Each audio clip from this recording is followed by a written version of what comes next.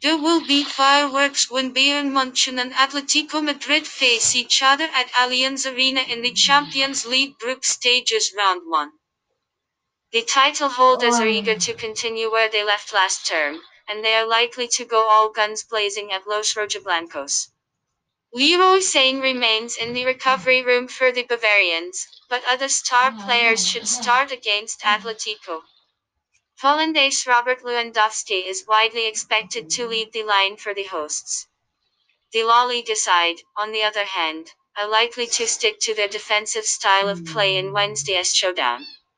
Even though Luis Suarez joined the club in the summer transfer window, there is no doubt Diego Simeone's troops will rely on counterattacks in the Allianz Arena clash. A low-scoring affair is on the cards, but we predict that the hosts will eventually break the deadlock. Sam Vrsaljko remains in the recovery room, but fellow defender Jose Gimenez could recover in time to face Bayern Munchen. Prediction 1-0